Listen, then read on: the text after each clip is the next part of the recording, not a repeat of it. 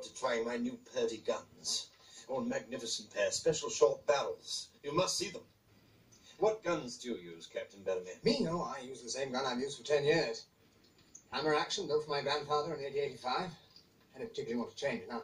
My brother, I hear your firm's financing this new railway in Uganda. Is that likely to be profitable soon?